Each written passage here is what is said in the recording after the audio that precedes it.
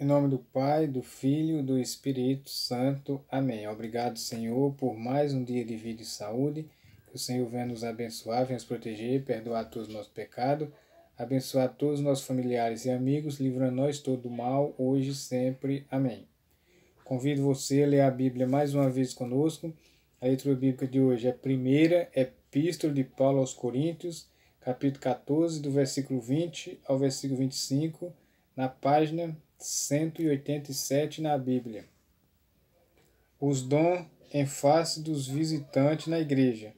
Irmãos, não sejais meninos no juízo, na malícia, sim, sede crianças quanto ao juízo, sede homens amadurecidos. Na lei está escrito: Falarei a este povo por homens de outras línguas e por lábios de outros povos, e nem assim me ouvirão, diz o Senhor, de sorte que as línguas constituem um sinal não para os crentes, mas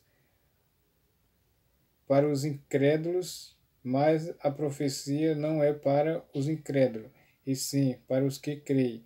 Se, pois, toda a igreja se reunir no mesmo lugar e todos se puserem a falar em outras línguas, no caso de, de entrarem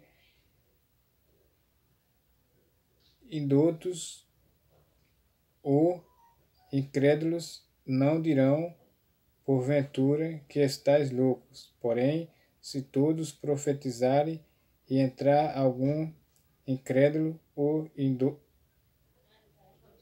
indoto, é ele por todos convencido e por todos julgado.